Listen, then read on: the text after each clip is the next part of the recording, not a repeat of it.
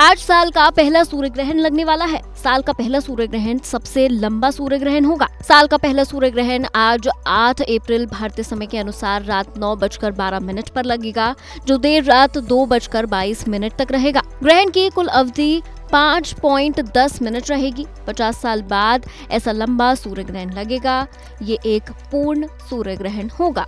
इस दौरान धरती पर सात मिनट तक अंधेरा छा जाएगा। सूर्य ग्रहण से 12 घंटे पहले सूतक काल शुरू होता है, लेकिन 8 अप्रैल को लगने वाला सूर्य ग्रहण भारत में नज़र नहीं आएगा। इसलिए अगर आप सूतक नियमों का पालन नहीं करते हैं तो कोई हानि नहीं है, क्योंकि भारत में इस ग्रहण का कोई प्रभाव नहीं पड़ रहा है। लेकिन गर्भवती महिलाओं को कुछ सावधानी बरतने की ज़रूरत है। इस दिन घर के बाहर जाने से बचें, किसी भी नुकीली चीज़ का प्रयोग करने से बचें।